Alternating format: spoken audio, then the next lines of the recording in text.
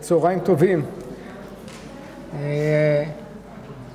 אני ביקשתי שיחלישו את המזגנים למי, ש, למי שהתלונן. אתם חושבים שבשביל ללמד פה צריך לדעת גנטיקה, זה הדבר האחרון שצריך לדעת. צריך לדעת לפרוץ מנעולים, לתקן מערכות הגברה, מערכות תאורה, מזגנים וכן הלאה. אז, אבל אני חושב שהכל פחות או יותר בסדר. אם עד עכשיו דיברנו על תכונות, תכונות שאפשר לראות בעין, צבע סגול, צבע לבן, עיניים ירוקות כחולות וכן הלאה, עד עכשיו, היום אנחנו נתחיל לנסות לצלול פנימה ולנסות להבין איך, איך זה עובד ברמה המולקולרית. ואנחנו נתחיל עם משהו שהוא לפני המולקולות, משהו שהוא קצת יותר גדול ממולקולות, וזה הקרומוזומים. הקרומוזומים התגלו במהלך המאה ה-19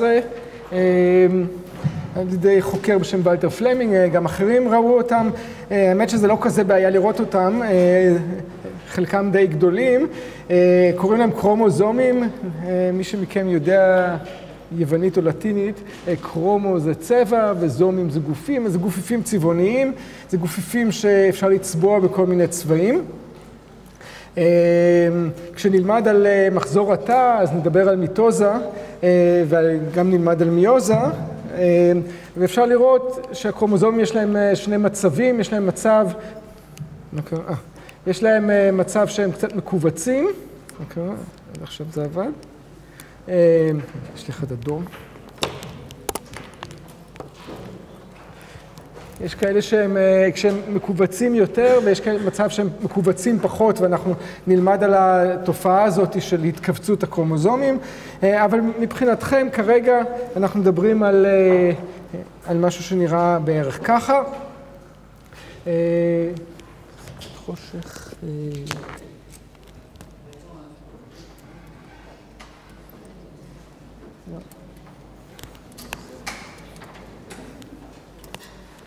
אוקיי.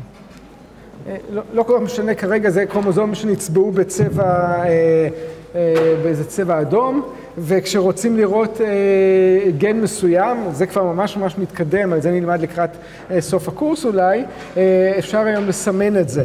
כמובן שמנדל לא ידע, מנדל לא ידע על קרומוזומים, ולא רק שמנדל לא ידע על קרומוזומים, גם פלמינג שגילה את הקרומוזומים לא ידע על מנדל.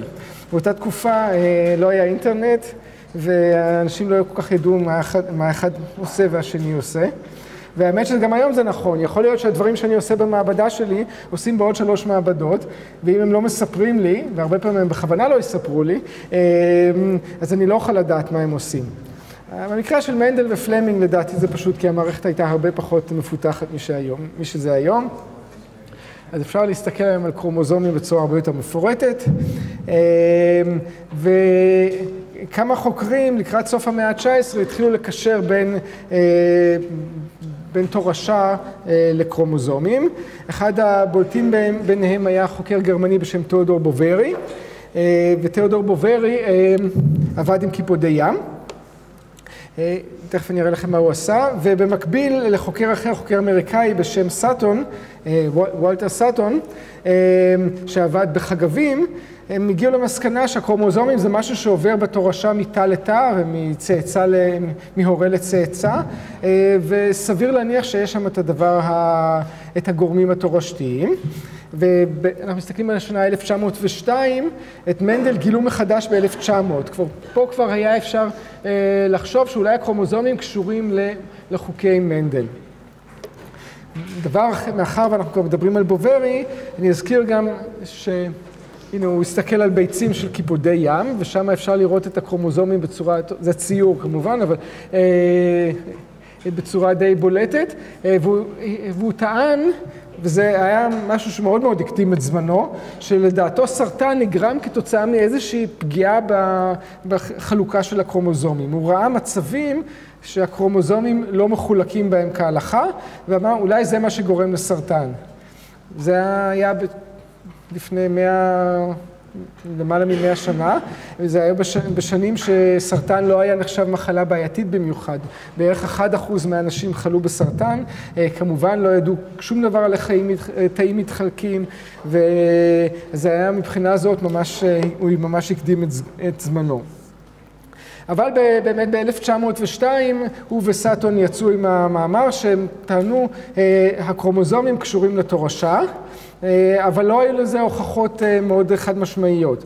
עד שבא מורגן, תומאס מורגן, והוא הראשון שסיפק את ההוכחה המוצקה שמקשרת בין גנים לקרומוזומים. ובניסויים שלו עם זבובי פירות, הוא הראה שהפקטורים של מנדל נמצאים על הקרומוזומים. בואו נראה מה הוא עשה. אז קודם כל זבובי פירות הם יצורים, יצורי מודל נוחים לעבודה גנטית, כבר דיברנו על אפונה.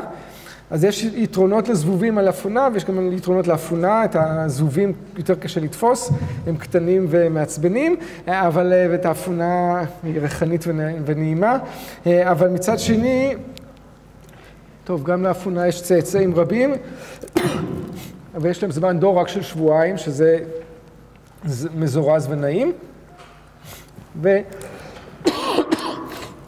ויש להם ארבעה זוגות קרומוזומים.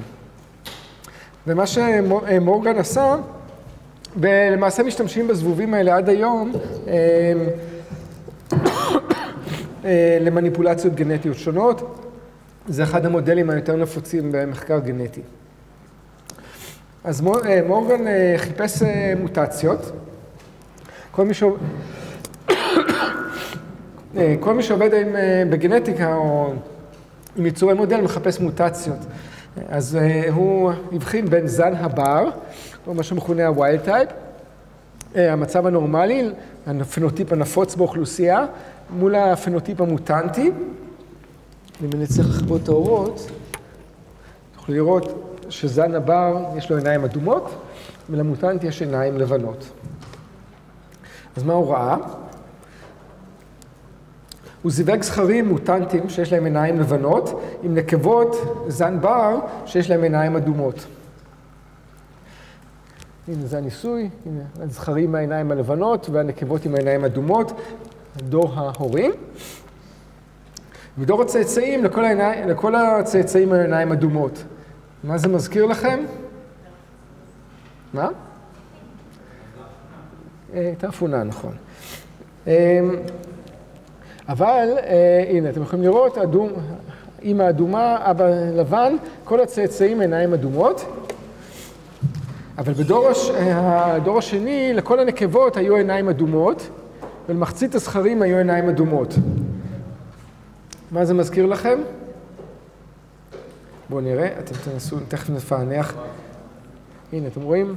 כל הנקבות אדומות, חצי מהזכרים לבנים. מה, מה, זה, מה, מה זה מזכיר? כן. נכון, שהתכונה הזאת היא כנראה אחוזה ב-X. בואו נתחיל, מה דומיננטי, מה דומיננטי, אדום או לבן? אדום, נכון, למה אדום? זה שמוטנט הוא נדיר, זה לא אומר שהוא בהכרח אקססיבי, אבל במקרה שלכם אתם צדקתם, האדום הוא הדומיננטי. כבר ראינו את, הדומה, את המוטנט הזה עם השש אצבעות, שזה מוטנט דומיננטי. והוא יחסית נדיר, אני חושב שלרובכם אין שש אצבעות. עכשיו, איזה מין תורשה זאת, התלמידה כבר ענתה יפה, זו תורשה אחוזה ב-X, ואנחנו יודעים, יופי, כל הכבוד לכם, זו אחוז, תורשה אחוזה ב-X. אז הנה, אני רק אחזור על הניסוי, אני אראה לכם פה, כי מפה הוא הצליח להוכיח את זה פעם ראשונה. יש לנו זכר מוטנט, נקבה זן בר, דור F2, יש התפצלות. עכשיו נסתכל על הקרומוזומים. והוא כבר יכול היה להסתכל על הקרומוזומים, בסך הכל יש שם מעט קרומוזומים וה-Y וה-X שונים. צורת הקביעת הזוויג בדרוזופילה היא שונה מאשר באדם, אבל גם להם יש Y ו-X. אנחנו נדבר על, באחד השיעורים הקרובים על איך נקבע הזוויג ביצורים שונים, תראו שזה נורא מעניין וזה שונה בכל יצור ויצור, אבל פה יש לנו X ו-Y. ומאחר וזה מתחלק חצי-חצי, חצי ה-x ילך, חצי מהתאי הזרע יהיה להם x, וחצי יהיה להם y, אמרנו שהמוטציה פה, ה-w הקטן, ה-white, white זה המוטציה.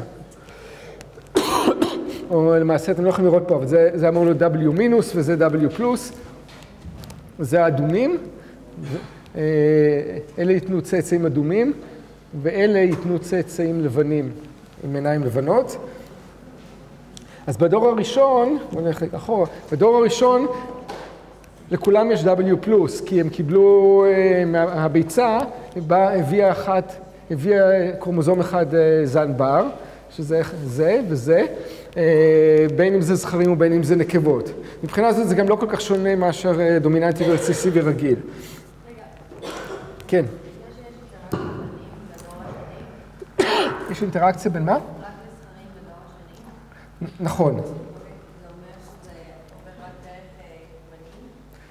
זה עובר רק דרך, זה עובר דרך הבנות. ודרך, כן, זה יכול לעבור דרך, המוטציה עוברת רק דרך הבנות. הבנים, הזבובים הזכרים, הזבובים הזכרים לא מקבלים את קרומוזום, לא מקבלים קרומוזום X מאבא שלהם. אז לכן זה עובר רק דרך האימא. אז אתם יכולים לראות פה,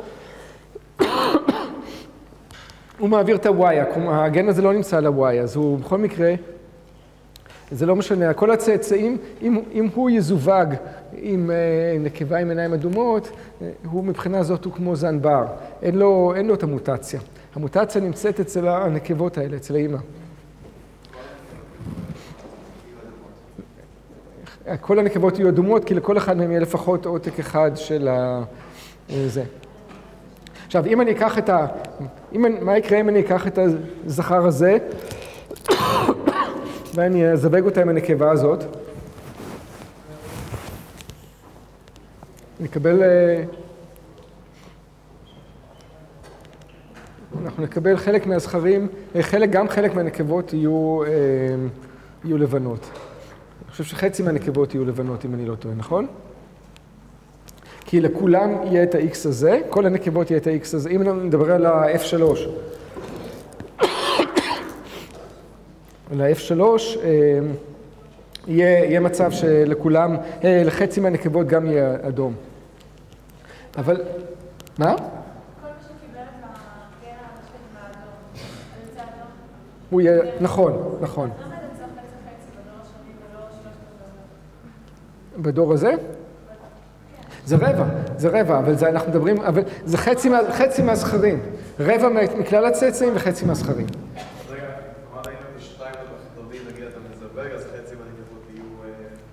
נכון. כן, כי חצי מהם יקבלו את זה, לא, כולן, כל הנקבות יקבלו את זה. חצי מהם יהיו עם... כן. ומה יהיה עם הזכרים?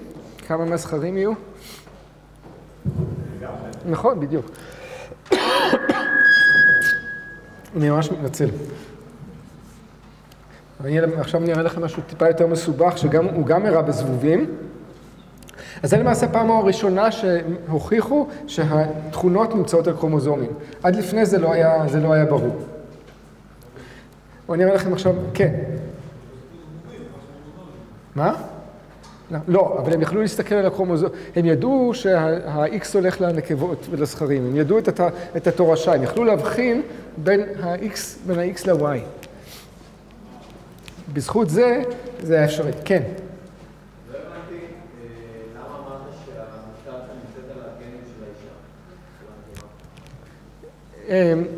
בדור הראשון, הזכרים, כדי להיות זכר אתה מקבל X ו-Y. עכשיו את ה-Y, הגן בלאו הכי לא נמצא על ה-Y. אז ה... כל, המ... כל מה שהם יקבלו פה זה יהיה מה... מהאישה, מה... מהזבובה. אבל הזבובות האלה יקבלו חצי מה-Xים, יקבלו את כל ה-Xים שלהם למעשה מה... אחד, מש... אחד משני ה-Xים שלהם מהזכר. זה ברור?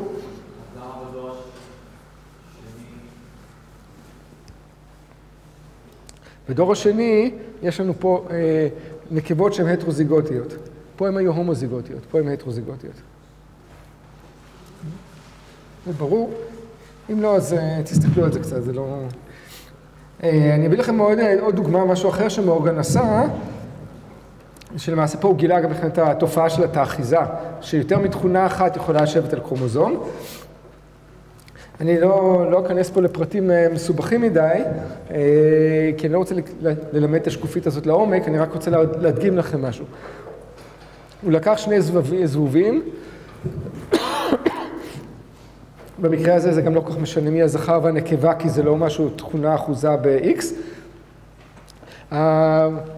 הוא זיווג נקבות גדולות עם כנפיים רגילות, עם זכרים קטנים שיש להם כנפיים מצ'וקמקות, שזה BB קטן ו-VG קטן, וזה B גדול, או B פלוס ו-VG פלוס. זה הזן בר וזה המוטנטים. ואז, ואז הוא זיווג אותם, והיינו מצפים לקבל מצב שלמעשה מקבלים, ארבעה, מקבלים את הארבע האפשרויות האלה. זאת אומרת, הביצה יכולה להיות B גדול, VG גדול, B, B קטן, VG קטן, ואז אנחנו מקבלים זבוב עם שתי הנכויות. פה זה, זה, זה הזבוב הזן הבר, זה המוטנט הכפול, ופה יש לנו מצב שיש לנו זבוב גדול עם כנפיים קטנות, או זבוב, סליחה, זבוב קטן עם... בי זה, אה, סליחה, זה, זה צבע. זה שחור, הוא שחור עם כנפיים קטנות, אז יש, הוא שחור ויש לו כנפיים קטנות. הוא שחור, הוא אפור ויש לו כנפיים קטנות, והוא שחור וכנפיים גדולות. זאת אומרת, זה B קטן ו-VG פלוס, ולמעשה אנחנו מקבלים את כל האפשרויות האלה ביחס של 1 ל-1. כן. הצבע זה ה-B. ה-B פלוס זה שחור, אה, סליחה, B, B פלוס זה אפור ו-B אה, מינוס או B, B פלוס זה שחור. אם יש אחד כזה ואחד כזה, אז אנחנו, אז ה-B פלוס הוא הדומיננטי, בגלל זה הוא אפור. כן, אורך כנפיים. האורך הכנפיים, הזה הוא דומיננטי. וואו, ממש ממש תודה.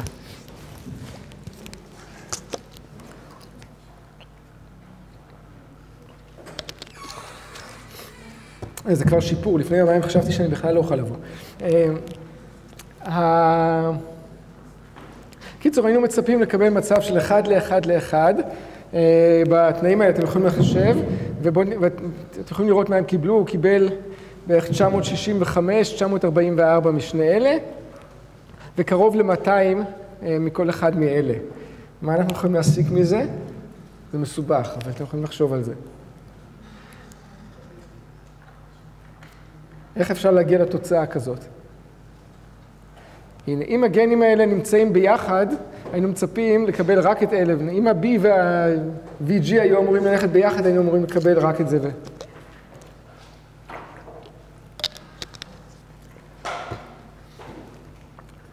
נו, יש למישהו רעיון? טוב, מה שקרה זה שלא קיבלנו יחס של אחד לאחד לאחד, אבל גם לא קיבלנו שבכלל מצב שכאלה שלא קיימים. למעשה קיבלנו שיש לנו פה 80 אחוז, או אולי אפילו קצת יותר, וזה 20 אחוז. הסיבה היא שהם אמנם יושבים על, על, על אותו קרומוזום, שתי התכונות יושבות על אותו קרומוזום, אבל יש ביניהם איזשהו מרחק ויש תופעה שקוראים לה רקומבינציה. תכונות יכולות להתחלף בין קרומוזומים. אנחנו נלמד את זה בהמשך. זה עוד, אה, עוד אחד מהניסויות המעניינים של מורגן, אנחנו נחזור אליהם בעוד כמה שיעורים.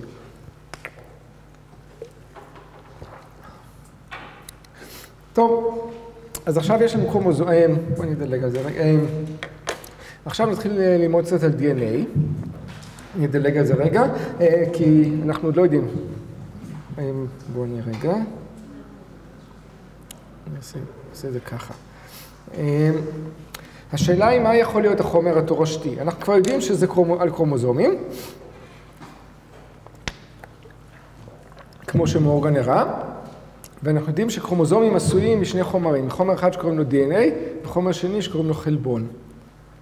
ה-DNA הוא פולימר שמורכב מארבע תת יחידות שונות, מיד אני אגיד לכם מה זה פולימר, והחלבון הוא עשוי מ-20 תת יחידות שונות. אז על מה, אתם, על מה הייתם מהמרים שאמור להיות החומר התורשתי? תחשבו, המון תכונות, מסובך, מוטציות וזה. הייתם עובדים על שפה של ארבע אותיות או שפה של עשרים אותיות? ארבע, למה ארבע? מה? אה, כן, נכון, את יודעת דברים שאני עוד לא לימדתי, יפה. אבל למה, למה אנחנו צריכים, אה, למה, אה, למה הייתם הולכים על ארבע ולא על עשרים? אוקיי, בסדר. טוב, אנחנו, אנחנו נגיע לזה עוד מעט ו, ונראה. האמת שזה להרבה מאוד שנים זה לא היה ברור, ואחד הניסויים החשובים בכיוון היה ניסוי של חוקר בשם גריפית, וגריפית עבד עם עכברים, ולמעשה מה שהיה מעניין זה לא העכברים, העכברים סתם היו מסכנים, אלא השתמש בשני זנים של אה, חיידקים.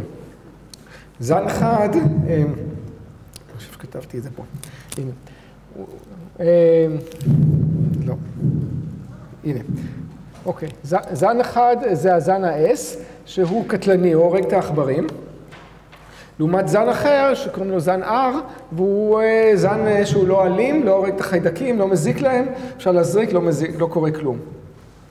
עכשיו, אם הוא לקח את הזן הזה, בישל, אותם, בישל אותו במים חמים, והזריק את זה לעכברים, העכברים חיו.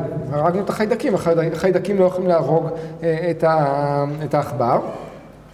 עכשיו הוא עושה ניסוי מעניין, הוא לקח את החיידקים המתים האלה, ערבב אותם עם החיידקים הלא אלימים האלה, ערבב את זה ביחד, הזריק את זה והעכבר מת.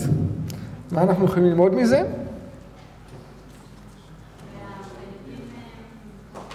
ש... שמה? אמרת משהו נכון, תגידי את זה עוד פעם.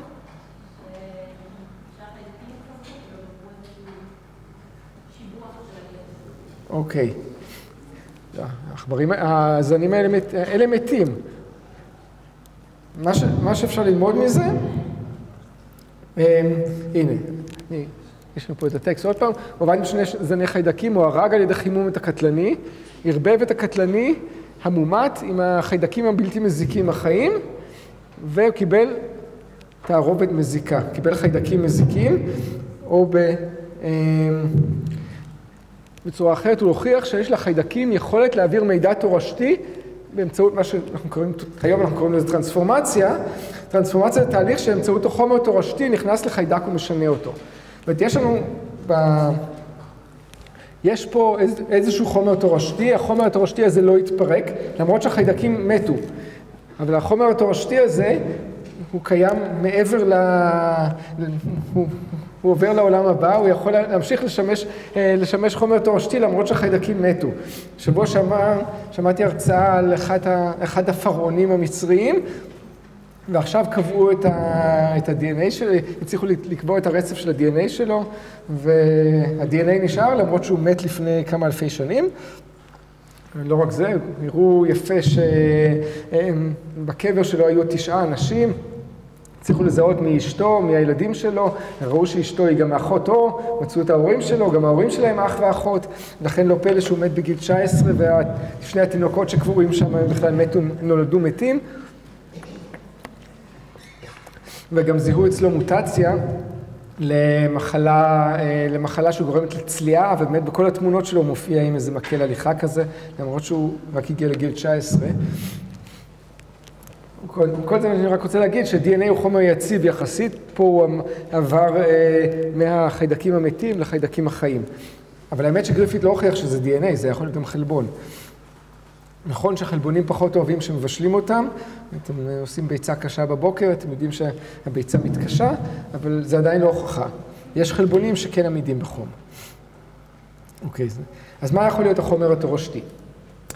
אה, זה אמרנו, זה כבר היינו. אז אה, קודם כל אולי אני אספר לכם מה זה פולימר, כי זה לא פייר שלדבר על פולימרים ולא להגיד לכם מה זה. אז פולימר זה שרשרת ארוכה של תת יחידות. למעשה, אה, בדרך כלל תת יחידות חוזרות. זה יכול להיות תת יחידות חוזרות בדיוק באותו סדר, זה יכול להיות תת יחידות אה, חוזרות בסדרים שונים. אבל בעיקרון מדובר בשרשרת ארוכה של תת יחידות, אנחנו מכירים כאלה, למעשה אנחנו בנויים, בנויים משרשראות כאלה, גם חלבונים עשויים מזה, DNA, עמילן, תאית של עצים, כל הדברים האלה הם חזרות על, על מוטיב, על אותו מוטיב, או על מוטיבים שונים. אתם גם מכירים הרבה פולימרים מלאכותיים, אתם מכירים את הפלסטיק וכל מיני סוגים של פלסטיק. עכשיו זה די מעניין שלמעשה אנחנו בנויים משרשראות חד-מימדיות. בין אם זה DNA, בין אם זה חלבון ובין אם זה דברים אחרים, רוב הדברים זה שרשראות חד-מימדיות שמתקפלות ועושות דברים מעניינים, אנחנו נלמד על זה, אבל בעיקרון זה שרש... בנוי כשרשרת חד-מימדית. תחשבו, אם אנחנו חושבים מבחינת אינפורמציה, הרבה יותר קל לקודד שרשרת חד-מימדית מאשר אה, מבנה כזה למשל. הרבה יותר מסובך, מסובך לפתור תשבץ. הנה פה אה, כל מיני דברים מחוברים ומצולבים בצורה הרבה יותר מסובכת. אז זה, זה פשוט אה, במאמר מוסגר, מה זה פולימר? פולימר זה שרשרת, וה-DNA הוא פולימר. אז מה ה-DNA? מי, את ה-DNA גילה אה, חוקר בשם פרידריך מישר, אתם לא צריכים לזכור את זה. אה, הוא בודד את זה מתחבושות שזרקו בבית חולים, תחבושות עם מוגלה שבודד, ש... מבית חולים, זה די מגעיל, אבל היום עושים תרגילים לילדים להפיק את זה, אז עושים את זה מתות שדה בדרך כלל. אבל אה, אפשר להפיק מכל מיני דברים אה, DNA. אמ, והוא, זה שגילה את זה, הוא קרא לזה, אה, זה, זה, זה חומצי, בגלל זה, בגלל זה זה נקרא חומצות גרעין. אמ, אבל הוא גילה את זה לפני הרבה מאוד זמן, ועדיין לא היה ברור האם זה הוא החומר שאצל גריפיט הופך את החיידקים מלא אלימים לאלימים. ובשביל זה היינו צריכים לחכות לאוסוולד אברי ב-1944, אה, והוא יחד עם חוקרים נוספים זיהה שה-DNA הוא החומר התורשתי. ואיך הוא עשה את זה? הוא חזר על הניסוי של, אה, של גריפיט. אתם רואים, הנה העכברים לקח את הזן האלים, בישל אותו היטב, ערבב אותו עם חיידקים אה, לא אלימים, הזריק לעכברים, עכברים מתו. עכשיו, הוא הוסיף לדבר הזה איזשהו חומר שפירק את הסוכרים. אולי הסוכרים מכילים את החומר התורשתי. פירק את הסוכרים, עדיין העכברים מתו. לא רק שהם מתו, אפשר היה להפיק מהגוף שלהם את הזן האלים. כלומר, הזן האלים קם לתחייה. עכשיו הוא השמיד את השומנים, אתם זוכרים, היה לנו שומנים שעוטפים אה, מעטפות מעטפות אה, של תאים, ממברנות של תאים, הוא השמיד את זה, גם הם מתו.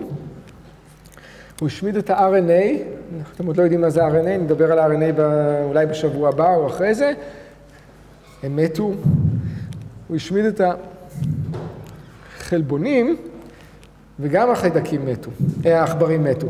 רק כאשר הוא הרס את ה-DNA עם איזשהו חומר אה, שהורס DNA, עם אנזים שקוראים לו DNase, העכברים חיו אה, באושר ואושר עד היום הזה, ואי אפשר להפיק מגופם שום חיידק אלים.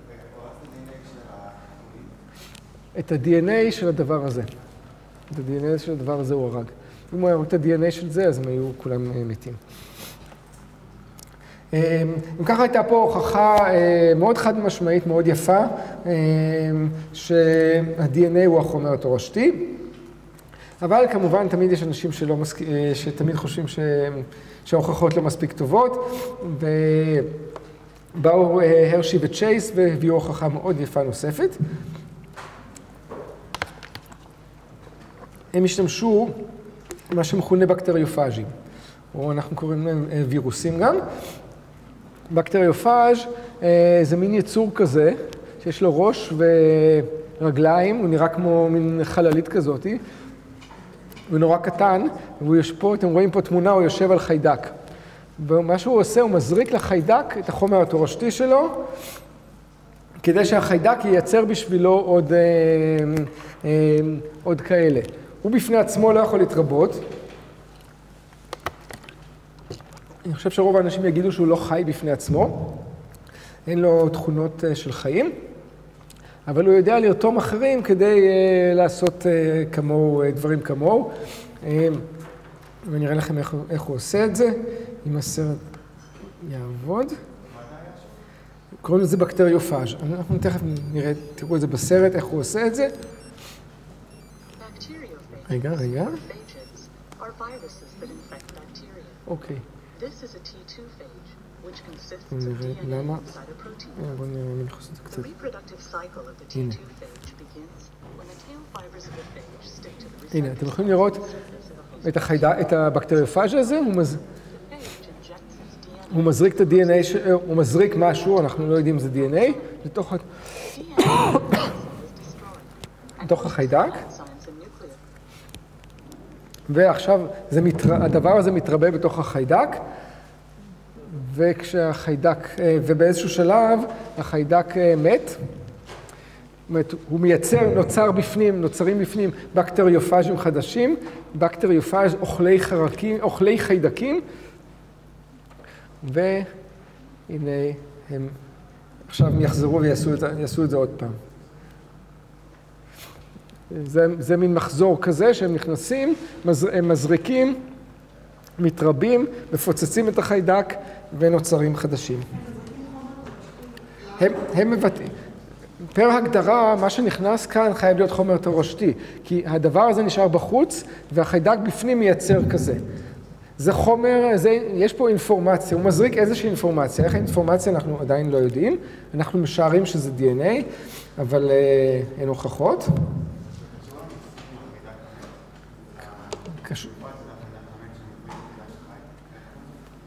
אה, אה, אתה מתכוון למה שראינו עם העכברים? אה, לא, זה תהליך אחר. בחיידקים המתים אה, פשוט נכנס DNA איכשהו דרך הדופן. פה יש מה שמכונה בקטריופאז', זה למעשה תהליך של אינפקציה, של הדבקה. שם זה תהליך של טרנספורמציה, זה סוג אחר של הדבקה. מה זה הבקטריופאז'? בקטריופאז'ים הם יצורים קטנים שמתרבים על ידי זה שהם מזריקים את החומר התורשתי שלהם לחיידקים, והחיידקים מייצרים, שלא מרצונם החופשי, אה, כמו שאנחנו מייצרים את הווירוסים שלנו שלא מרצוננו החופשי, אה, ו... עד שהחיידק מתפוצץ, ואז הם מתעופפים, משתחררים לסביבה. כן, אפשר להגיד שההתנהגות שלו היא טפילית, כן. כן.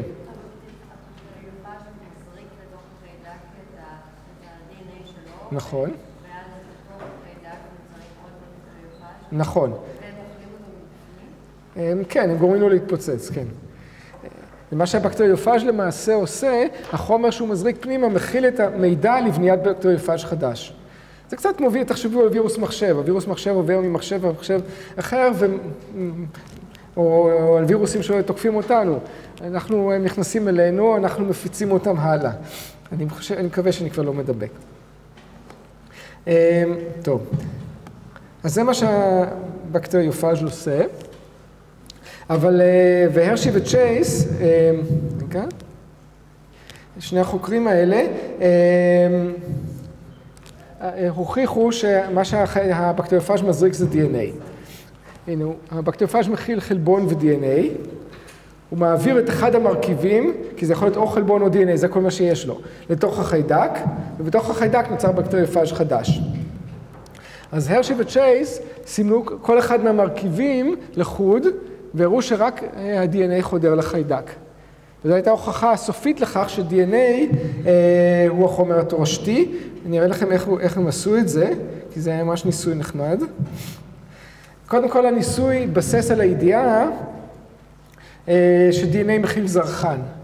DNA הוא מולקולה שמכילה אטומים שונים, אחד האטומים הוא אה, אטום שקוראים לו זרחן, אה, לעומת זאת חלבון מכיל אטום שקוראים לו גופרית, מכירים גופרית, מכירים זרחן, זה יסודות ידועים, ויש איזוטופים רדיואקטיביים של שני היסודות האלה. איזוטופ רדיואקטיבי הוא איזוטופ שמתפרק ופולט קרינה. אה, והיתרון שלו שאפשר לזהות, אותו, אה, לזהות את הקרינה שלו, אה, היתרון המחקרי שלו. בואו נראה איך הם עשו את זה. הם לקחו את הפאז'ים האלה וחיידקים, גידלו אותם ביחד כמה מחזורים. בואו נסתכל רק על, נסתכל רק על העליון. עם, עם גופרית S גופרית רדיואקטיבית. והם קיבלו, והגופרית הרדיואקטיבית סימנה את החלבון.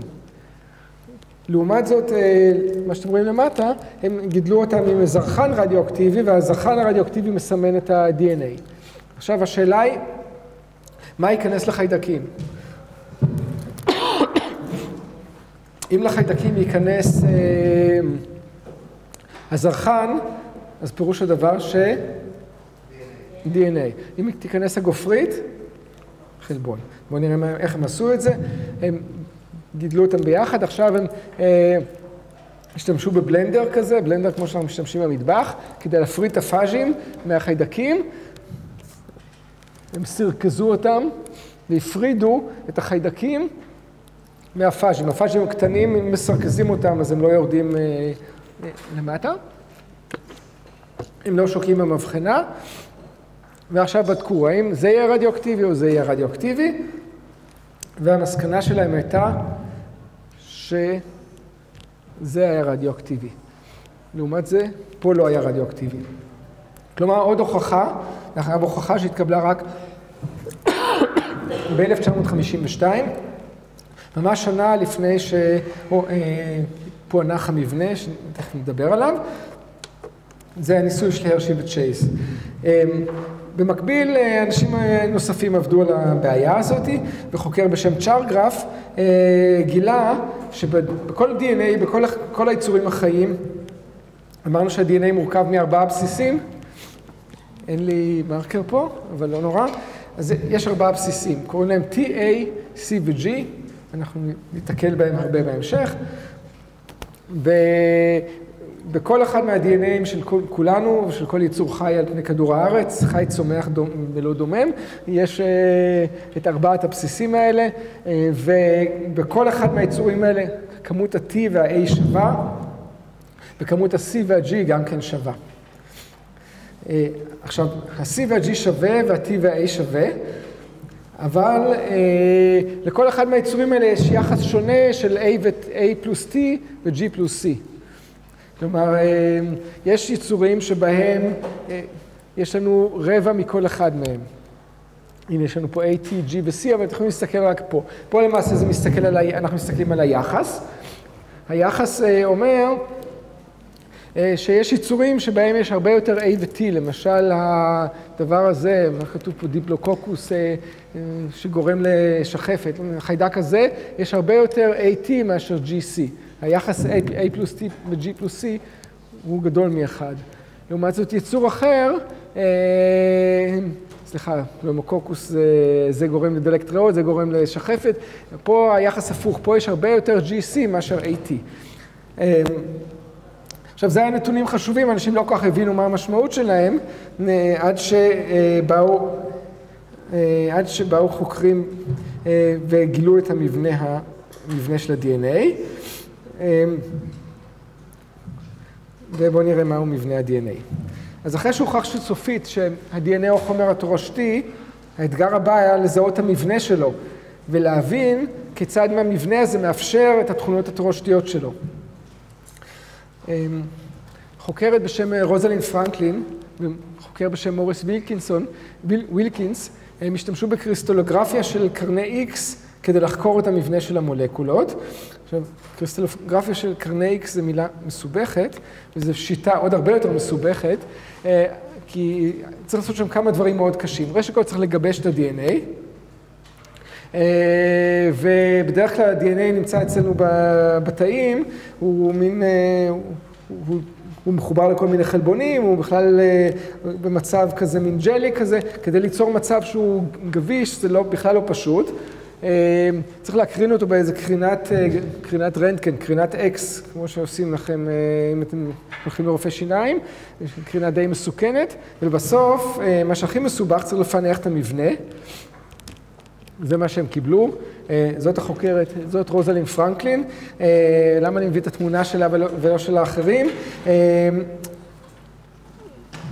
רוזלין פרנקלין, התמונה שרוזלין פרנקלין צילמה, אותה תמונה הזאתי, היא, היא היא למעשה אפשרה לחוק, לשני החוקרים האחרים, לווטסון וקריק, לפענח את המבנה, את המבנה של ה-DNA. למרבה הצער היא נפטרה שנים ספורות לאחר מכן מסרטן. באותה תקופה, באותם שנים, אנחנו מדברים בתחילת שנות החמישים, אה, התייחסו לנשים מדעניות בצורה די מבישה, הם אפילו לא יכלו לשבת במועדון, בכלל התנהגו אליה לא יפה. אה, דרך אגב, היא הייתה יהודייה, היא ביקרה בארץ, עשתה טיול בארץ אה, בשנים לפני כן. ובקיצור, היא לא זכתה לתהילה של ה-DNA, בעיקר משתי סיבות, מסיבה אחת, בגלל שווטסון למעשה גנב ממנה את האינפורמציה. הוא לא ממש, גנ... הוא לקח והסתכל ולא דיווח לה שהוא זה, וכשהוא פרסם את התוצאות הוא לא, הוא לא, אה, הוא למעשה אה, לא, לא ציין את זה, למעשה יותר גרוע מזה, כשהוא אה, אחר כך בשנות ה-60, הוא כתב את הספר המפורסם, הסליל הכפול, הוא כתב עליה נורא לא יפה, הוא כתב עליה דברים ממש לא יפים, אז לא מספיק שהוא גנב, הוא גם עשה לה רצח אופי אחרי זה. מה? היא נפטרה הרבה שנים לפני זה, היא לא, היא לא טבעה אותו. אמ, אבל אני מנסה פה להציג אותה, כי היא באמת הייתה חוקרת מבריקה, היא עשתה עבודה פנטסטית. אמ, מה שהיא עשתה, הוא סתם היה תיאורטיקן והסתכל על זה, ואני לא, לא מזלזל במה שהוא עשה, אבל העבודה הזאת הייתה הרבה יותר מסובכת.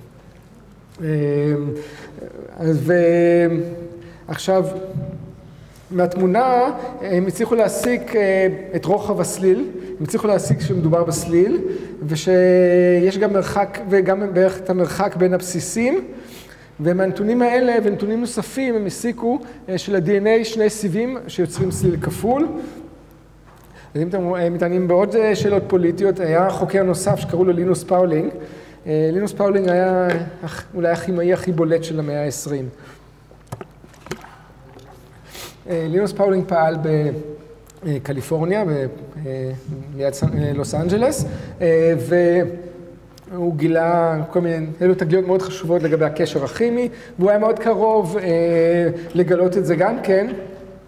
אבל בתקופה הזאת הוא לא יכול היה לנסוע לכנסים בגלל שהוא היה חשוד בקומוניזם והיה תקופת המקארתיזם ולכן למעשה, והוא היה פעיל נגד נשק גרעיני ולכן האמריקאים לקחו ממנו את הדרכון ואסרו עליו לנסוע לשום מקום, והוא היה הרבה זמן מקורקע, וזו הייתה אחת הסיבות שהוא כנראה גם לא הגיע לאינפורמציה אה, שהייתה מאפשרת לו אולי לגלות שזה סליל כפול. בהמשך הוא גם זכה בפרס נובל לשלום, ואני חושב שלזה נתנו לו לנסוע אה, אה, בסוף, אבל זה היה... אז מסתבר שיש, גם, גם לפוליטיקה יש תפקידים. אז בכל מקרה יש לכם פה את התמונה של אה, ווטסון וקריק, זה ווטסון, הוא היה בסך הכל בן 23 כשהוא עשה את התגלית הזאת, אה, ופרנסיס קריק, אה, שהוא עוד היה דוקטורנט, הוא כבר היה בן 36, והם ביחד בנו את המבנה הזה, את הדגם הזה לפי התוצאות שהם חשבו. ולמרות שכל הדברים הרעים שאמרתי עליהם, בכל זאת מדובר פה בתגלית גאונית. והמאמר הזה שהוא פורסם, בסך הכל שני עמודים, הוא פורסם ב-Nature בדיוק לפני 60 שנה, באפריל 1953, אה, ופחות או יותר צמוד אליו פורסם, פורסמה התמונה הזאת אה, של, אה, של רוזלין פרנקלין, מאמר שגם היא פרסמה. כלומר, גם היא פרסמה את התוצאות שלה. אבל כולם מדברים היום על הסליל הכפול של ווטסון וקריק, אז אני רציתי רק להדגיש באמת את החשיבות של, ה, של העבודה הניסיונית שנעשתה. אז בואו נדבר קצת על DNA, ונראה למה, למה למעשה, טוב, אי אפשר לקרוא מה שכתוב פה, אבל בסופו של דבר הם ציינו בסוף המאמר ש... מהמבנה הזה אפשר להשיג תכונות חשובות על הצורה, על התורשה של ה... על איך זה משמש מבחינה תורשתית. איך ה-DNA יכול לשמש להעברת אינפורמציה. אז כבר ציינו שה-DNA מורכב מארבעה נוקלאוטידים שונים. למעשה כל אחד מהנוקלאוטידים האלה מורכב מארבעה חלקים. הוא מורכב קבוצה של זרחן, אתם זוכרים, היה זרחן שהרשי וצ'ייס השתמשו בו לסימון. אה, יש פה איזשהו סוכר, ויש פה את הבסיס הזה, הבסיס הפחמני, הבסיס החנקני. אתם לא צריכים לדעת את הדברים האלה, אני מביא את זה רק כזה לסבר את העין, ולמעשה הדברים האלה הם קבועים, הדברים האלה לא משתנים. מה שמשתנה בין ארבעת הבסיסים זה הדבר הזה, וזה, גם פה יש לנו את ההבדל, זה יכול להיות A, T, C או G. זה למעשה מה שחשוב. מה שווטסון וקריק טענו, הראו, ש... או חזו, למעשה הם לא הראו את זה בצורה ניסיונית, ש-T מתחבר רק ל-A, ו-C מתחבר רק ל-G. זה, זה מזכיר לכם משהו? אם T מתחבר רק ל-A ו-C מתחבר רק ל-G, מה זה אומר? זה כמו, זה חוקי צ'ארגרף, זה החוקים, אם A ו-T תמיד מתחברים אחד לשני, אז המספר שלהם, הכמות שלהם צריכה להיות זהה. ואם G מתחבר רק ל-C, הכמות שלהם גם צריכה להיות זהה. אמ, וזה נראה ככה. אה, אתם יכולים לראות ש-A ו-T מתחברים, הם יוצרים ביניהם שני קשרים. אמ, ו-C ו-G מתחברים, נוצרים מהם שלושה קשרים. אה, יש לזה, יש לזה כמובן חשיבות, אה, ואתם זוכרים, הראיתי לכם שלכל מין אה, יש הרכב שונה של AT ו-CG. אתם זוכרים שדיברנו על החיידקים השונים, יש כאלה שיש להם הרבה AT ויש כאלה שיש להם הרבה CG, ומי שיש לו הרבה CG, ה-DNA שלו יותר עמיד בחום, כי יש פה שלושה קשרים. לעומת מי שמשתמש ב-AT, ה-DNA שלו קצת פחות עמיד לחום. לכן כמה שיש יותר AT, הייצור מן הסתם גדל בטמפרטורות יותר נמוכות. וזה היה ממש במאמר מוסגר. לא, אני לא אשאל אתכם מבחינה על זה. אמ, עוד דבר שאפשר לראות מהזיווג, או מה שהם למעשה יכלו להסיק אה, בניסוי שלהם, במודל שלהם, הם הצליחו להראות שאם יש לנו נגיד A, אה, אם יש לנו מצב כזה או מצב כזה, אז זה יהיה דק מדי וזה יהיה עבה מדי, מכאן הם הסיקו שזה חייב להיות אה, אחד כזה ואחד כזה. זאת אומרת, יש, לראות, הנה זה ה-G, ל-G ול-A יש צורה כזאת, ול-A ול-T, ול-C ול-T יש את הצורה הזאת. אבל שוב, אני רק מביא את זה ממש כזה בצורה מאוד אה, שטחית, כי אני לא רוצה להיכנס לזה לעומק. אה, מה שאבל אה, כן מעניין, אנחנו מסתכלים על המודל שלהם, הוא מראה שיש לנו למעשה סליל, סליל כפול.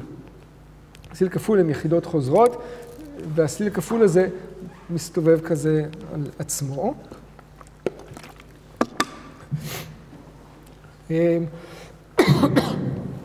כשהם כשמה שמחבר את ה... למעשה תת יחידה לתת יחידה בכל אחד מהסיבים, זה הקשרים, הקשרים האלה של הסוכר וה, והפוספט. הפוספט נקשר לסוכר, והסוכר נקשר לפוספט וכן הלאה. זה למעשה יוצר את השלד, או את העמוד שדרה של, ה, אה, של ה-DNA, ופה באמצע יש את ההבדלים. זה בחוץ תמיד אותו דבר, פה בפנים יש את ההבדלים. ההבדלים כמובן זה מה שנותן אינפורמציה. בדבר הזה אין, אין שום אינפורמציה. אז יש כל מיני מודלים, אפשר להסתכל על זה ככה וככה, ולכל אחד מהם יש הסברים, אבל זה פשוט, זה כנראה נראה, נראה קצת יותר ככה מאשר, מאשר ככה, אבל יותר קל להבין את זה בצורה הזאת. עכשיו, השאלה המעניינת, כדי שמידע יוכל להיות תורשתי, הוא צריך לעבור שכפול. צריך לעבור הכפלה. אני מעביר, אה, תא מתחלק, הוא מחלק את ה-DNA שלו לשני תאי בת. כלומר, הוא צריך לחלק אותם אה, ולהכפיל אותם. אה, סתם עוד תמונה. אז העיקרון הבסיסי של זיווג בסיסים זה שמאחר ושני הסיבים משלימים, כל סיב יכול לשמש כגלופה לבניית הסיב החדש. וזו אולי המסקנה הכי חשובה מהתוצאות של ווטסון, מהמודל של ווטסון וקריק, שכל אחד מהסיבים מכיל את כל האינפורמציה. מאפשר לשחזר את האינפורמציה. בואו נראה את זה בצורת סרט.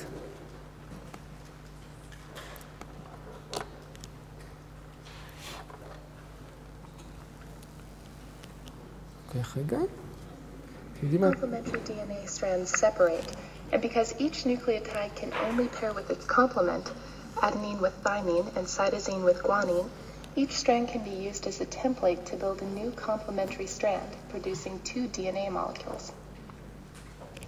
In the cell, DNA replication is a little more complicated, but the principle is the same.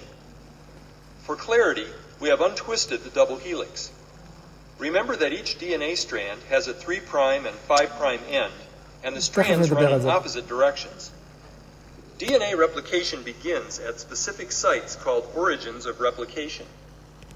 Proteins attach here and separate the DNA strands, forming replication bubbles which grow in both directions.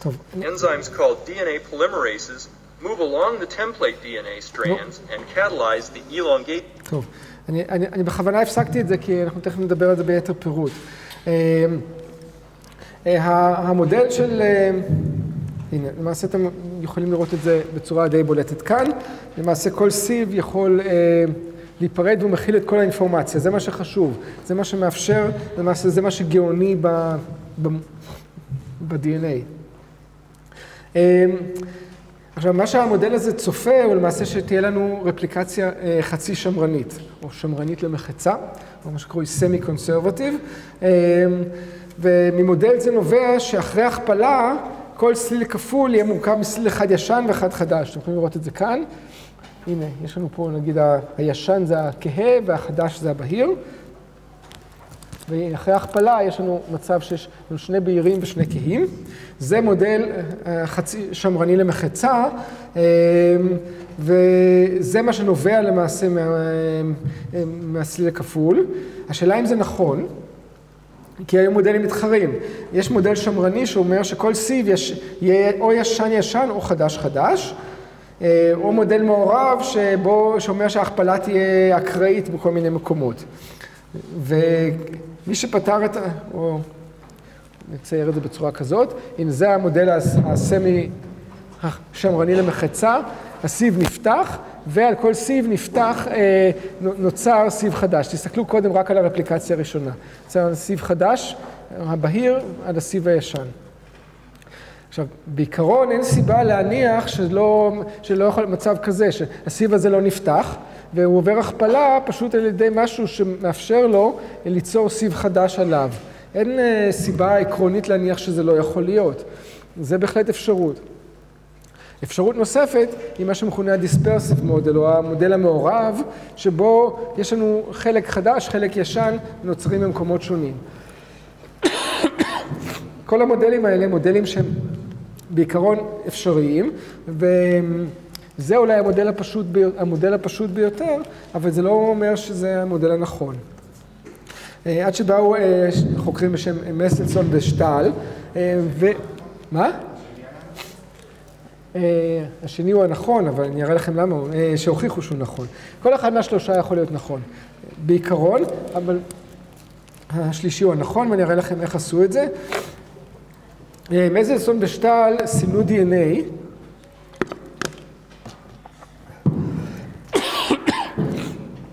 עכשיו, אתם כבר ראיתם איך אפשר לסמן DNA עם, עם איזוטופ רדיואקטיבי? אבל יש גם איזוטופים שהם לא רדיואקטיביים, כלומר הם לא פולטים קרינה, אבל הם יותר כבדים. לחנקן יש איזוטופ כבד, ואם הוא יותר כבד, אז גם ה-DNA יוצא יותר כבד. ואם מסרכזים אותו כמו שצריך, אזי אפשר להפריד אותו. תכף תראו איך זה נראה. הנה, מגדלים את החיידקים עם האיזוטופ הכבד, ה-N15, חנקן 15, ומעבירים אותו למדיום שיש לו חנקן 14, שזה המדיום הרגיל.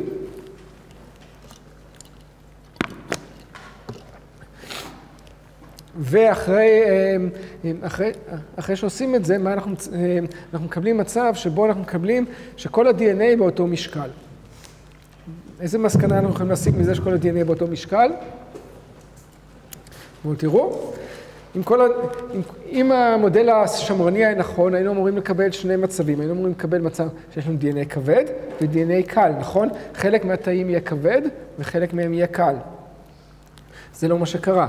אמ, כל ה-DNA הוא, הוא אה, באותו משקל, אז כנראה שאו זה נכון או המודל המעורב נכון. כי גם הוא, אנחנו אמורים לקבל את אותו דבר. איך אנחנו יכולים להבחין? כן. אה, אני אדבר על הכפלה בהמשך. אה, דווקא על הכפלה אנחנו נדבר בפירוט. אה, כרגע אנחנו מדברים, אנחנו יודעים שיש הכפלה. זה ברור לנו בתור, זה ברור שתהיה הכפלה, כי אנחנו מדברים על, על חומר שעובר מתא לתא ומתרבה, אז הוא עובר הכפלה. אני אסביר לכם איך ההכפלה עובדת, עוד מעט. אני אסביר את זה, אוקיי, אני אסביר, אני אסביר את זה. אני אסביר את זה. מה שלמעשה אנחנו פה רואים את זה מאוד יפה, אם ה-DNA עובר, או נעשה אחורה, פה רואים את זה עוד יותר יפה, אם ה-DNA עובר, אה, הוא יכול, הסיב הזה יכול לעבור הכפלה בצורה שיישאר הסיב הישן, נגיד שזה יהיה הסיב הכבד, וייווצר עליו באיזושהי צורה אה, סיב כפול חדש. נוצר סיב ישן, הסיב הישן הכפול לא נפתח, והסיב החדש, נוצר סיב חדש כפול, באיזושהי צורה. אה, פה, המודל הזה זה מודל שהסיב הכפול נפתח, ועל כל אחד מהחד סיבים נוצר סיב חדש, קל. ופה זה מצב, מין מצב מעורב כזה. אז מהמודל הזה אנחנו יכולים אה, לראות, אה, ממה שקרה, אנחנו מקבלים, אחרי הכפלה אחת, כל ה-DNA הוא באותו משקל. כלומר, יש לנו מצב או שזה נכון, או שזה נכון. אין מצב שיש גם כבד וגם קל אחרי הדור הראשון. איך אנחנו יכולים להבחין בין שני המודלים האלה?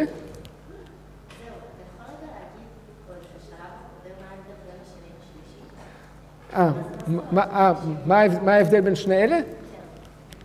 ההבדל הוא שכאן נוצר חלק חדש וחלק ישן, חלק חדש וחלק ישן. זאת אומרת, אה, זה לא שסיב שלם חדש, אלא אה, חלקים, חלקים חדשים, חלקים ישנים. זה קצת מבלבל, אני יודע. אז איך אנחנו יכולים להבחין בין שני הדברים האלה? יש לזה מישהו רעיון?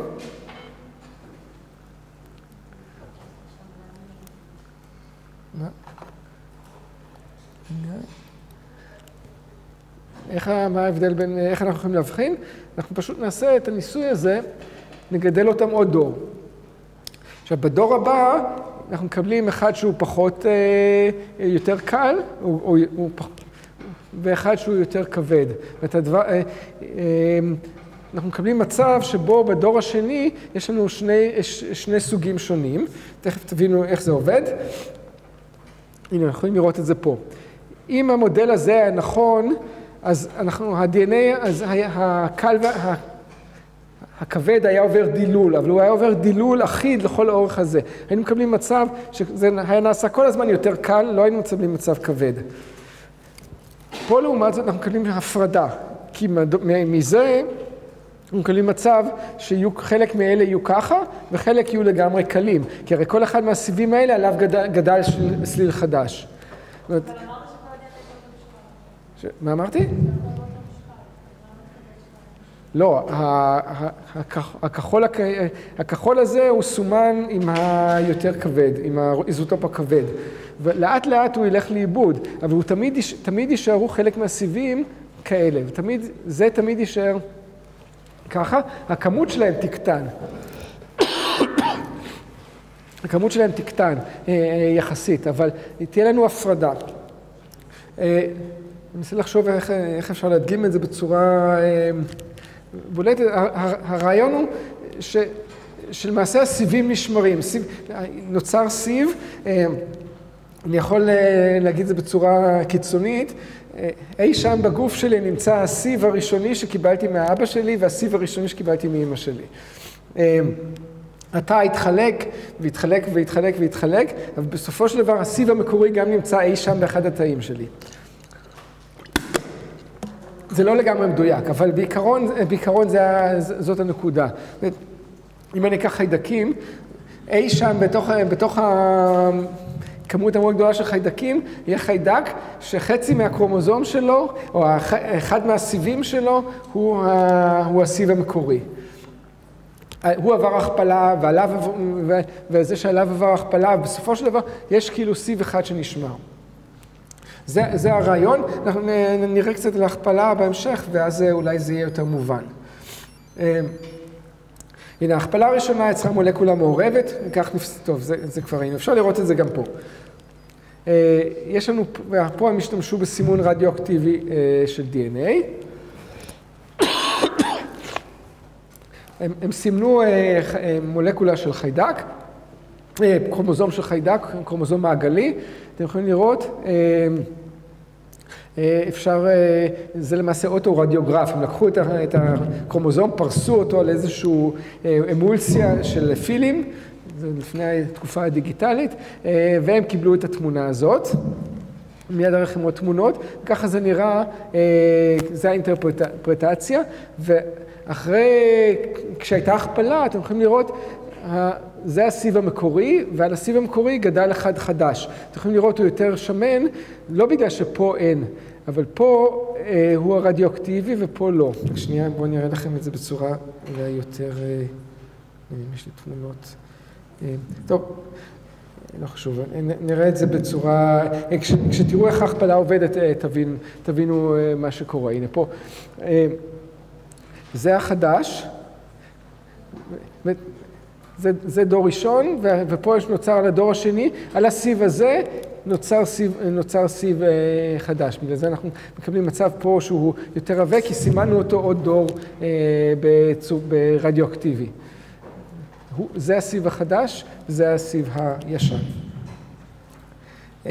עכשיו, התהליך הוא מאוד מאוד מורכב, אבל אנחנו ננסה לפשט אותו ולהבין כמה עקרונות בסיסיים, אבל רק כדי שתבינו כמה זה מורכב, בגנום האנושי יש שלושה מיליארד בסיסים. וזה אפילו לא גנום, גנום גדול במיוחד, האורן שעומד בחוץ יש לו גנום שהוא פי כמעט עשר יותר גדול מאיתנו, ולא ברור לגמרי בדיוק למה. ו... אבל... וכל...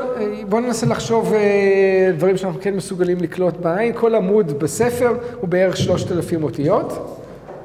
תארו לעצמכם שאתם צריכים להעתיק מיליון עמודים שלושה מיליארד זה שלושת אלפים מיליון עמודים, ולכרוך אותם ב-23 כרכים, זה מספר הקרומוזומים שיש לנו, וכל זה נעשה תוך מספר שעות. עכשיו, מותר לכם להשתמש בכמה כתבנים שאתם רוצים, ואנחנו נבין בדיוק מה זה הכתבנים האלה, אבל אסור לעשות שגיאות, או צריך לעשות כמה שפחות שגיאות.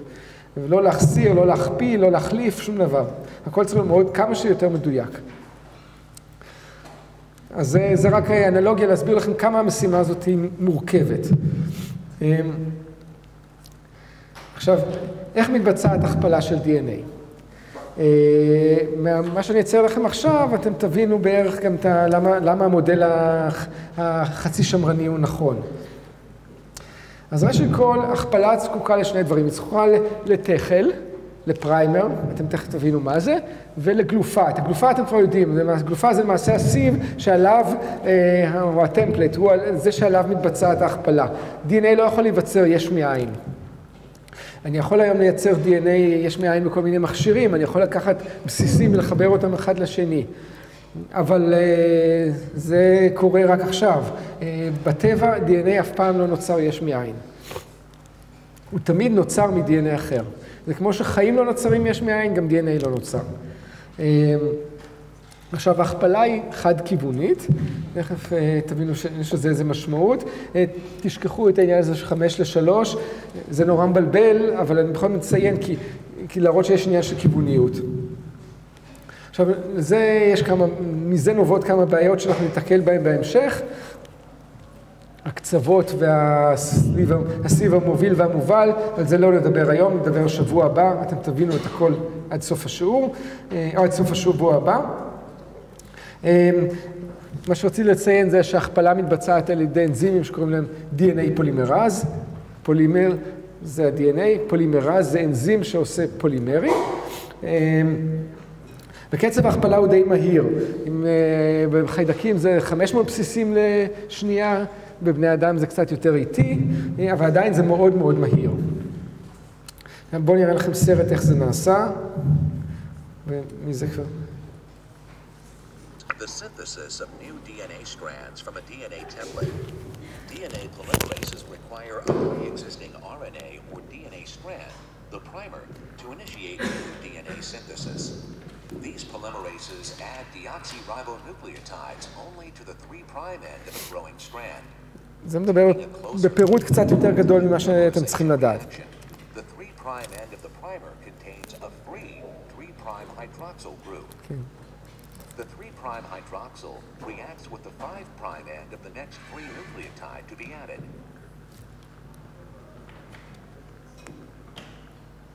Free nucleotides continue to be added to the growing DNA strand by the same type of reaction.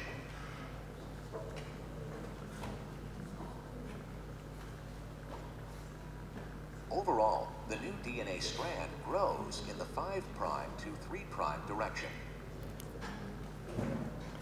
אוקיי. טוב, עכשיו, עכשיו נסביר. אמ, האמת, האמת שהדרך הכי טובה זה להסתכל על הדבר הזה.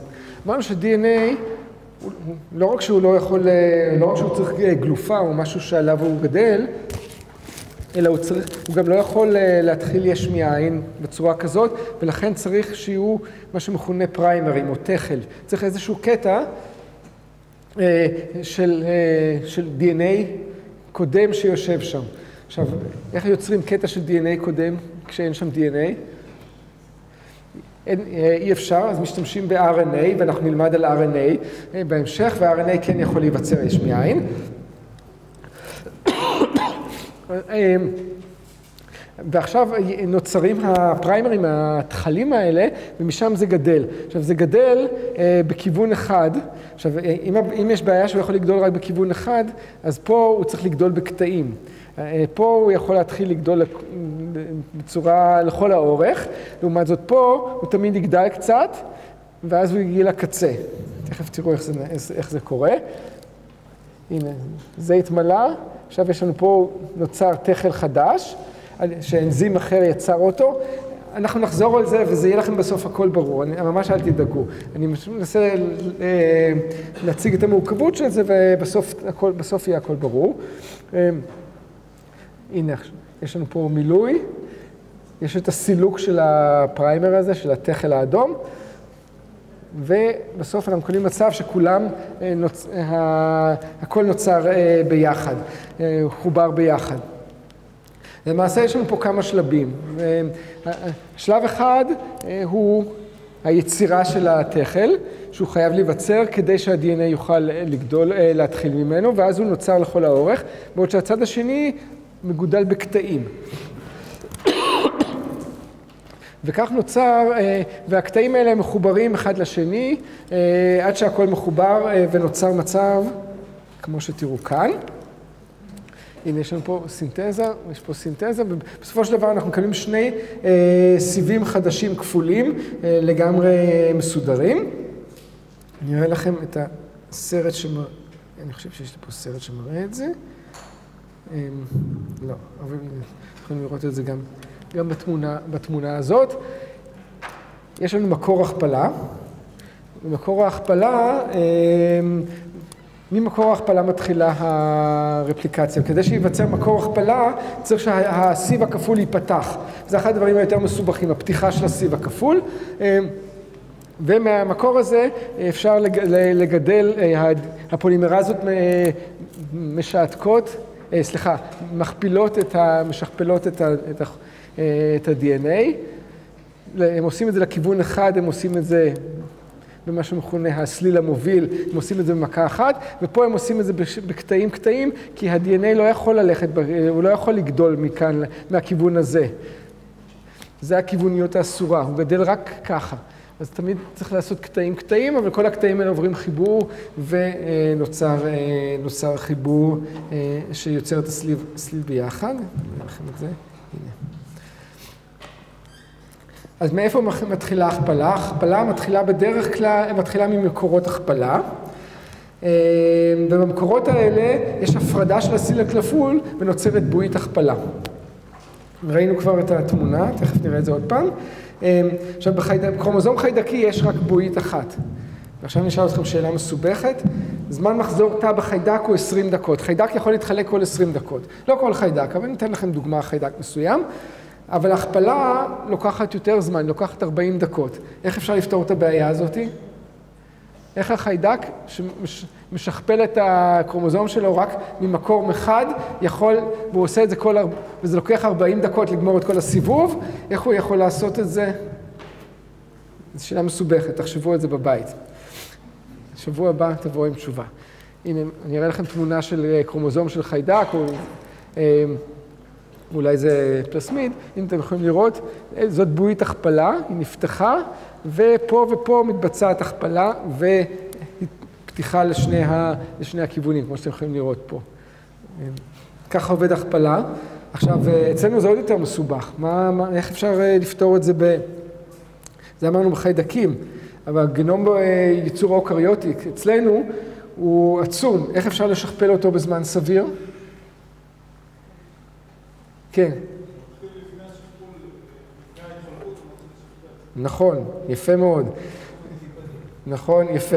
התשוב, התשוב, התשובה היא, אה, התשובה היא שההכפלה מתחילה במקום אחד, אבל למעשה מה שהחיידק עושה, הוא מתחיל לשכפל את ה-DNA של, הנכדים שלו. הוא יכול להתחיל, הוא יכול להתחיל לשכפל אה, שוב ושוב אה, מאותו מקור הכפלה, ואז הוא יבצע, ייצור, את, ה, אה, ייצור אה, את הקרומוזומים כבר של, יתחיל לייצר את הקרומוזומים כבר של הצאצאים שלו, מה שקרוי חשיבה לטווח, אה, חשיבה לדורות. אה, לעומת זאת, אה, ביצורים אוקריוטיים זה שונה לגמרי. ואנחנו נדבר על מחזור התא בצורה מפורטת, ותראו למה, אה, איך זה עובד שם. אבל השאלה היא, איך בכלל אפשר אה, להתגבר על הבעיה? הגנום שלנו הוא הרבה יותר גדול משל חיידק. והכפלה, נגיד בתא שלנו לוקחת שש שעות, שמונה שעות מקסימום. איך אפשר לשכפל גנום כל כך גדול בזמן כל כך קצר? מישהו יש רעיון? זה, זה יותר פשוט מה, מהשאלה הקודמת. נו, מה, מה דעתכם? איך אפשר לשכפל אתם זוכרים שדיברנו על 23 כרכים? ודיברתי, כן. בדיוק, יפה מאוד. יש לנו הרבה מאוד מקורות הכפלה. ביצורים האוקריוטיים יש לנו הרבה מאוד מקורות הכפלה שונים, ואם אתה משנה, משתמש בהרבה מקורות הכפלה, אז למעשה אתה יכול לפתור את הבעיה.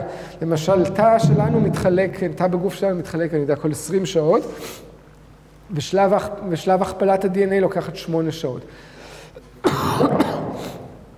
אבל כשהיינו נורא קטנים, כשהיינו עוברים, אז uh, קטנים, בשלב הראשון, ההכפלה הייתה עוד הרבה יותר זריזה. ואז פשוט השתמשו בהרבה מקורות הכפלה. הם היו ממש ממש צפופים.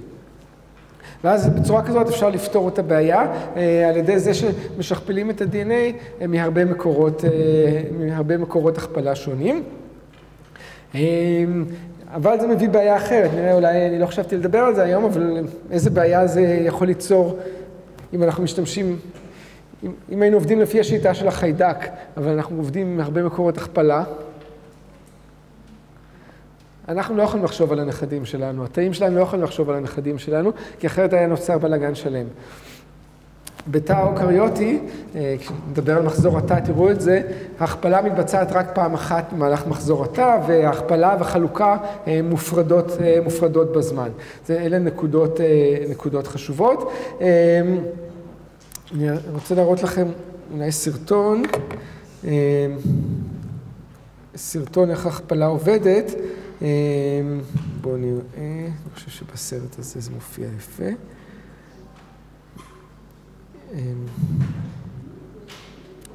הנה, יש לי פה, אני חושב שזה הסרט. הנה.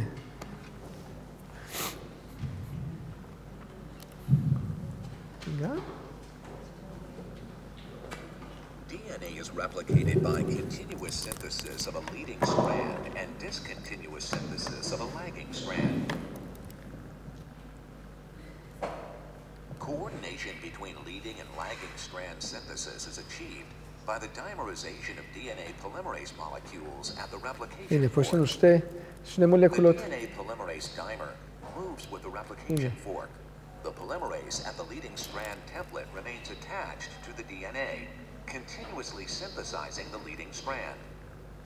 The lagging strand polymerase initiates DNA synthesis at the fork from an RNA הנה, primer זה- made by a primase complex. זה המזלג ההכפלה, או של הבועית. The polymerase elongates the lagging strand in a direction opposite the fork, but stays bound to the fork. As a result, the newly synthesized lagging strand fragment loops out between the polymerase and the fork. Once the polymerase completes an Okazaki fragment, it dissociates from the DNA template. A new primer is produced at the fork. the polymerase reassociates with the template at this position to continue synthesis of the lagging strand. By this mechanism, the two polymerases can add nucleotides to the growing strands at the same time, and it rates up to 1,000 base pairs per second.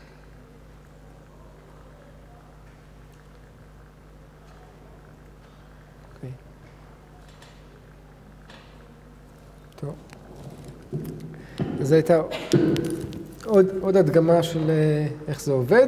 אה, יש לי, האמת שיש לי פה סרטון ממש חביב, ומראה את זה בצורה... כמה שתראו יותר סרטים, אולי תבינו את זה בסוף.